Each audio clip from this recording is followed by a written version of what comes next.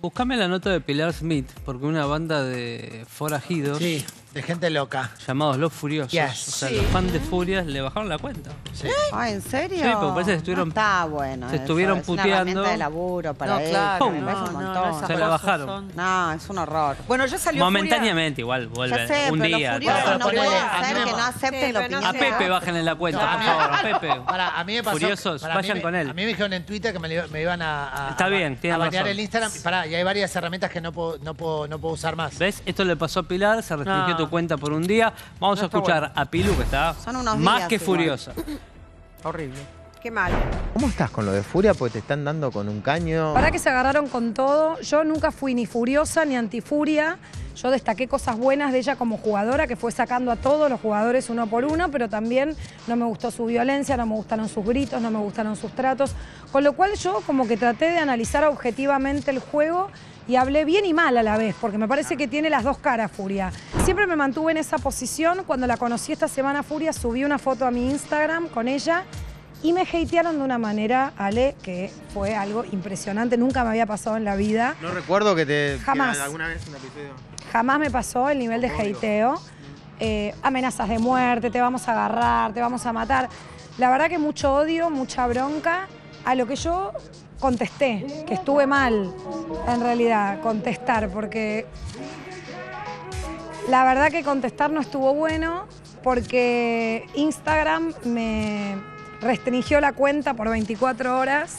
¿Cómo que te rindes? Eh, sí, Instagram considera que yo respondí de manera Perdón, yo no vi lo que pusiste. agresiva. ¿Qué pusiste? Parece que los, los furiosos son mucho más furiosos que la mismísima furia. Me parece que el nivel de hateo y de agresión eh, es muy fuerte. La verdad que, nunca Furia, había pasado. sin darse cuenta quizás, pero alimenta un poco eso, o, o la hermana, viste que venía manejando las cuentas, Yo- al, al generarse una cosa, vamos por acá, vamos por allá. Algunos escuché decir, los mismos participantes, que se quejaban de esa situación, porque le pasó a los otros hermanitos también de que en las redes le dan con un caño. Hacerla, eh, a ver, responsable 100% a Furia tampoco. Me parece que ella sí, un poco fogoneó, un poco... Pero me parece que lo que despertó eh, en todos estos fans es desmedido, es muy fuerte y es mucho más agresivo que ella.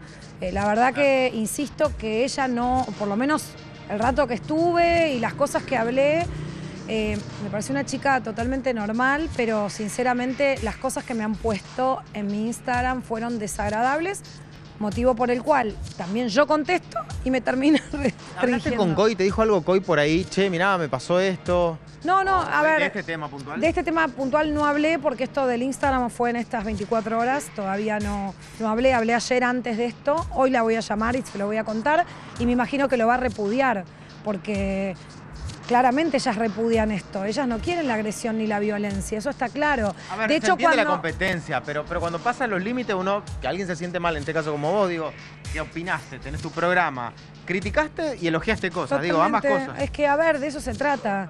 Digo, yo no soy fan de nada. Yo, digo, en el programa está Namá Ferreira, que ella sí dice que Ella es furiosa. furiosa. Ella lo dice, ella es fanática y no le ve nada malo a Furia. Para ella. para que cada uno por diga. eso, cada uno opina. Yo siempre estuve en una posición como me- media, ¿entendés? O sea, viendo cosas buenas y malas.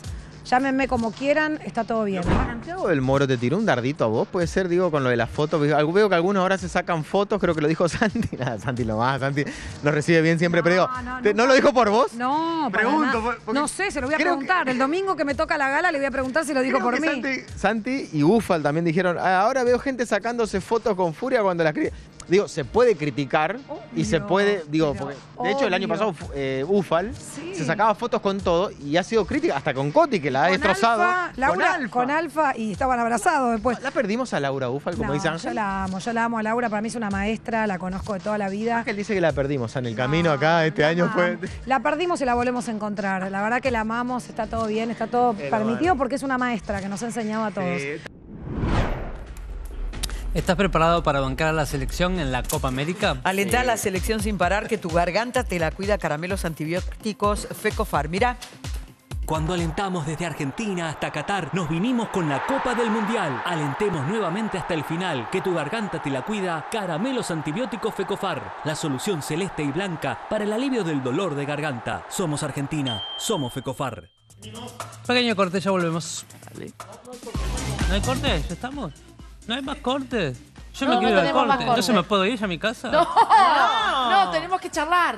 Charlemos entre Hace nosotros. como que ocho años que estoy acá sentado, leyendo No chivos. así, falta un rato todavía. Charlemos, no, dale. quedan 14 Tomate un mate que te 15. levanta. ¿No está Dente preparado? Tendríamos 14. que haber traído una picada. No, no, Dente, ¿no puede venir a Sabés que hay cantar? que gratificarlo. No, Dente sale ¿Está grabado? Canto yo si querés. Ah, está grabado con Topa, me dijo Cantamos Topa. nosotros. Ah, Cantamos, hacemos un Te coro. lo pido por Con favor. Pepe. Volvamos a, a ¿Quedó debatir alguna con nota? Hacemos. Bueno, pegá siete, ocho notas. Ya no hablo más, estoy harto de hablar. ¿De qué? Diego Ramos no, me aburre. No, no me importa, Canaletti, ya me aburre. ¿Qué otra cosa? A ver. Pavlovsky me gusta, a ver, Pavlovsky, ¿qué dice Pavlovsky? A ver.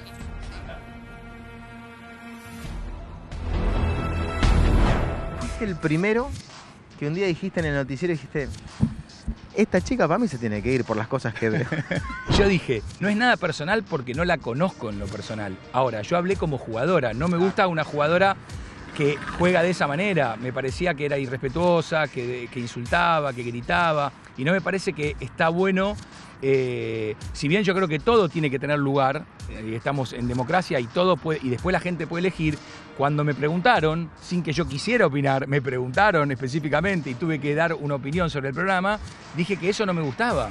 Y no puedo mentir, es lo que me pasa, no, no me gusta, me, me- me hace ruido al aire y, y- y sé que muchos chicos miran y por ahí creen que eso es correcto, que está bien. che, esto lo ve la familia, lo ve la gente y por ahí habían cosas que vos te hacían ruido. Y sí, y sí, igual entiendo, hay, hay, hay gente que se fanatiza por un montón de cosas, por un montón de personajes, por un montón de gente, y no es que los juzgo a ellos, los respeto, tienen el derecho. Ahora, yo también tengo el derecho de decir, a mí eso no me gusta. Te ocurrió porque hay gente, Pilar Mila estaba pasando mal porque esta, esta cosa del fandom, viste que Furia tiene como gente que te empieza a hatear y demás. No sé qué te pasó a vos, si No, te pasó no, algo en vos. el momento que salí al aire, que se generó esa cosa de, de repercusión, que, que bueno, que era obvio que, que podía pasar, sí, me, me- pero bueno, yo, yo lo entiendo como una. Lo entiendo como una cosa normal y lógica que puede pasar. No me, no me enojé, no me ofendí, aunque algunos ya directamente te, te- te faltan el respeto. Pero bueno, Tampoco es que te frenaba a decir, porque por ejemplo, Vero hizo una entrevista ayer con ella donde le dijo, che, boludo, ¿no querés pedir disculpas por algo? Me parece también como que se plantó. Pero después hay gente que tiene. Vero, Vero es muy buena, además es psicóloga, entonces este, a la hora de entrevistar también tiene una, una forma, una manera de abordar que tampoco es violenta y que tampoco es. eh, te, te permite eh, eh, preguntar este, sin, sin que la otra persona tampoco se sienta incómoda, que me parece muy bien. Y que ella pueda expresar, en este caso Furia, pueda expresar por qué jugaba como jugaba y por qué hacía lo que hacía. A mí me hacía ruido eh, eh, eso, ¿no? Un programa muy visto, mucha gente, este, y, y bueno, y a lo mejor el mensaje no es el que a mí me gusta. Después la gente me decían, es un programa de televisión, no es la vida. Tienes razón, es un programa de televisión, no es la vida, pero mucha gente toma cosas que ve en la televisión como si fueran como si estuvieran bien, porque lo hace alguien que te gusta, entonces por imitación pasa también. Entonces, por eso lo planteé. Por eso, a, a mí, 100%. ¿Va a venir a Nada tu programa? No lo sé, pero es bienvenida. ¿eh? ¿Y si te la cruzas? No es personal. Sí, obvio, se. Yo si la veo la saludo porque soy educado. Y si ella me saluda, mejor aún. Si no me saluda, bueno, mala suerte. O si me dice algo que, que me quiere decir, está en su derecho. Y si quiere venir al programa, yo feliz de la vida que venga al programa. No tengo problema. Se la Ahora, vas a decir, a mí no me gustaba cómo jugaba. No, no tiene nada que ver con su personalidad. Yo no sé si ella tiene esa, porque no la conozco, si su personalidad la trasladó al programa o si jugó. Porque puede pasar. Hay gente que se disocia y es de una manera al aire y es de otra manera en la vida privada. Puede ser. Lo que ella hacía como jugadora a mí no me, no me gustaba y lo dije sin ninguna mala intención, sin ganas de molestar a nadie, sin ganas de ofender a nadie. Dije eso con respeto. Negra, ¿cómo va? ¿Para qué me pones anteojos? Sí, ponete los anteojos. No queremos que después Matilda diga cosas. Claro, qué ridícula, ¿no? Con anteojos de noche. Claro. Teníamos la duda si ibas a venir o no. ¿Por qué? Y a ver si te llamaban para que no te presentes a trabajar en el día de hoy. No, no, no, no tuve, no tuve ningún llamado. Acá estoy, obviamente. Eh, no voy a hacer abandono de mi trabajo, por- no. Bueno, podría haber pasado porque el viernes pasado te pidieron que no vengas. No, porque supuestamente tenía que rotar y bueno, y roté aparentemente. Al final no, no vino Juliana y hoy va a estar el chino y así que bueno, acá estamos. Pero hoy también viene Juliana. Sí, aparentemente eso es lo que dicen, lo vi en la publicidad. O sea, no te hicieron rotar hoy que viene ella. Bueno, mejor, mejor, obvio. No, no, no, no. Yo no quería rotar.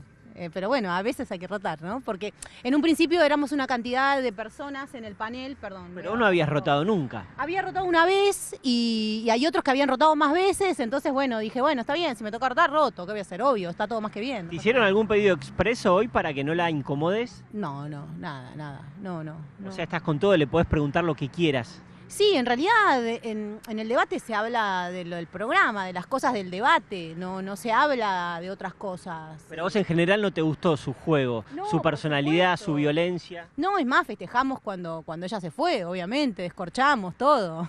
Creo que, que nosotros lo vivimos eh, a full, a, eh, a piel, o sea, lo vivimos, lo que es Gran Hermano, vivimos lo- los chicos que, que, que- que están adentro, te gusta uno, te gusta otro, festejamos y se va el que no querés.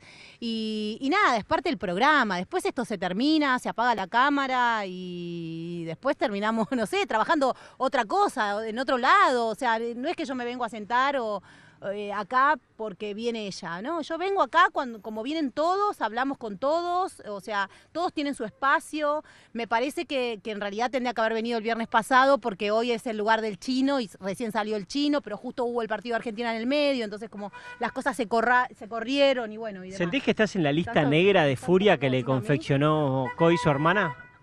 Eh, en la lista negra Dicen que Coy le confeccionó una lista negra de, de eh, panelistas y gente que hablaba mal de ella. Y bueno, es que no todos nos gusta todo, ¿no? O sea, no, no, o sea, no puedes, todos no podemos ir por el mismo lado. O sea, obviamente que, que convocan en un panel diferentes perfiles y a unos les gusta unos personajes y a otros nos gusta otros. Negra, déjame compartirte un audio de Furia que gracias a las redes pudimos escuchar y quiero que prestes atención a lo que dice. Consulta. Hoy, voy a ir a la Noche de los Ex, nos vamos a encontrar con el Chino y va a haber panelistas que saben que se las picaron conmigo. Necesito una cosa muy importante. Todos sabemos que hay gente que no resiste el archivo. Así que quiero, si es que se puede, y ustedes saben, recuerden que todos los que están sentados ahí son jugadores. Así que, y yo tengo, tengo contenido para hablar de cada uno. Ustedes, ¿se animan a ver el archivo oculto de cada uno de esos? O El sea, buscar el pasado de cada panelista que esté ahí sentado. ¿Solamente los que hablaron mal de mí? Solamente, Tanan, tan, tanan. Les dejo laburo.